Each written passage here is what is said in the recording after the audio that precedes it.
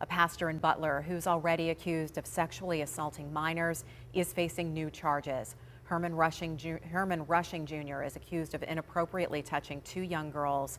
Those new charges were just filed today. Back in December, he was charged with similar offenses concerning two other girls.